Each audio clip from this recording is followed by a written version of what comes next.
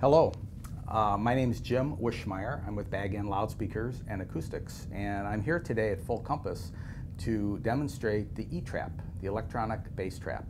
The basic problem with, with rooms for listening is when you make a room solid to be quiet, so you don't have noise coming in from the outside or noise leaving from the inside, that makes the listening room a good environment. So you want to have a quiet room. That means the room has to be solid and it keeps the energy inside the room. The E-Trap is small, it's tunable, and highly effective. Much more effective than a passive bass trap for its size because it's power assisted, meaning it uses the power of an amplifier to assist it in doing its work. And because it's electronic, you can tune it. You can adjust the amount of damping, you can adjust the frequency of the damping, and you also can physically place that, that electronic bass trap around the room in different locations.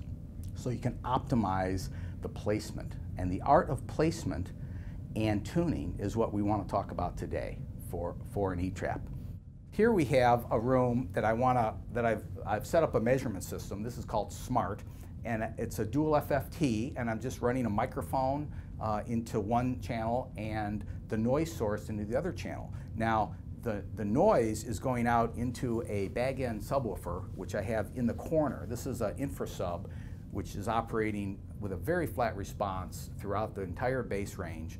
It's a good place to excite all the modes in the room because the room is the room, independent of the sound system. Where you place the sound system in the room has an effect on how it excites the modes in the room, but what we want to do with the E-Trap is we first want to understand exactly what the room is doing.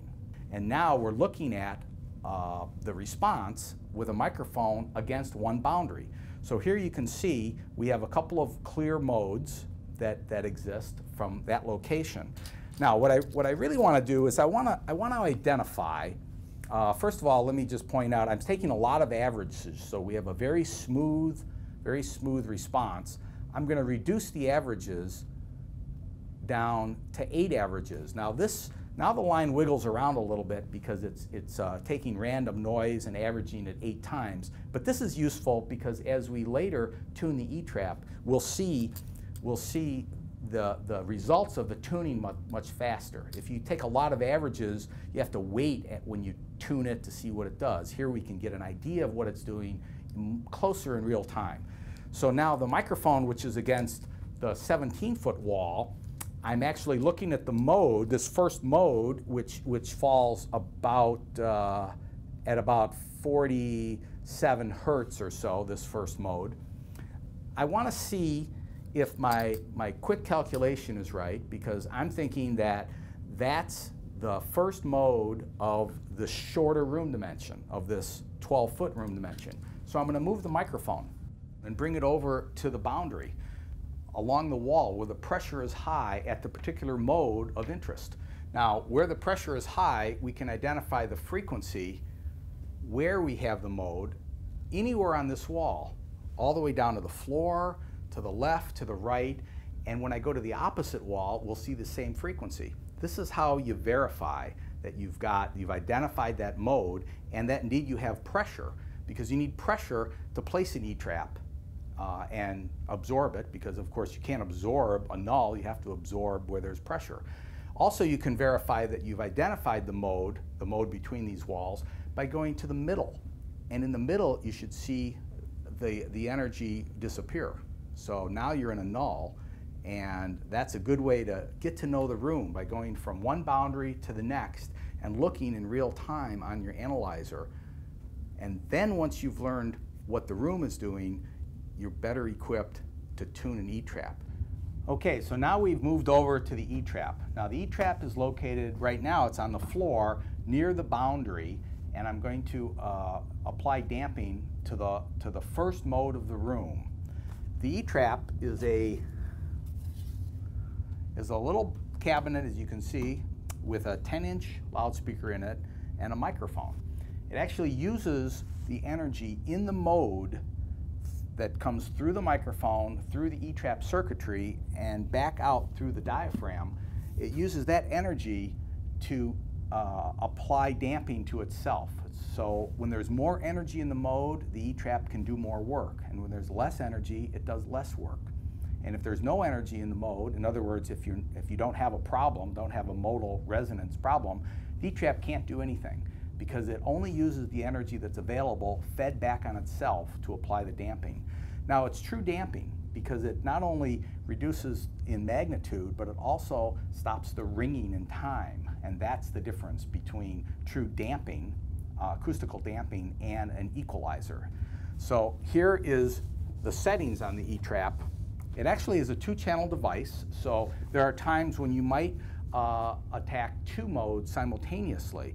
Today we're just looking at one uh, to start with, and the, the first channel you have feedback, which is the control that allows you to turn up and down the amount of damping, contour, which is both uh, feedback and the Q, the width of the, of the filter that's applying the damping. Now, the problem uh, the modal problem is by its nature a narrow band problem. So the E-trap targets a narrow band and we can adjust the amount of, of, uh, of effect it has and the bandwidth of the effect. And then the frequency. Now the frequency goes from 20 to 65, but we also can internally adjust it up to a little higher frequencies at times uh, when, when needed. And so there's a coarse frequency and a fine frequency control.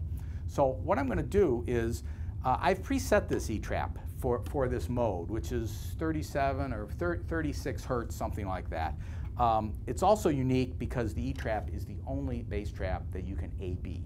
Now, you can't take a big Helmholtz resonator or a big passive bass trap and switch it on and off in a room. It's, a, more, of a, a, more of a construction project to A-B it. Here, we can just turn it on and you can hear the difference and you can see the difference in a measurement. So when I look at the measurement now, because I have eight averages, fairly quickly you can see the effect and you see the, the resonant peak, uh, the clear mode uh, uh, down at 36 hertz where there's a buildup in energy. This is the first mode of the room. This is where the most energy is in this room and it's where you will get the most benefit by applying damping. So again, now as I turn it down in frequency, you can see the graph and now it's below the tuning point. So and as I come back to the frequency, now we're knocking three or four dB off the magnitude here, or, or maybe a little more. And, but importantly, well, that's a lot of energy just in terms of the magnitude, but importantly, um, we're, we're affecting the time domain.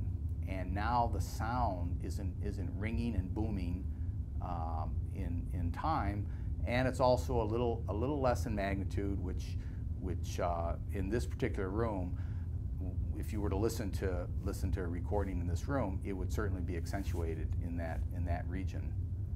So this would be a successful tuning for this room. Now you can see I could also take the feedback control and turn that down, and we could have a little less. And this is where taste comes in.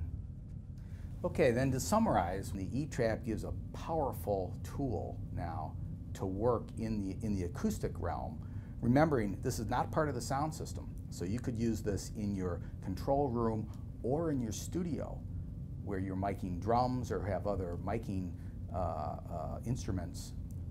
So the E-trap will have a positive effect on your listening experience. And for more information, Uh, go to fullcompass.com.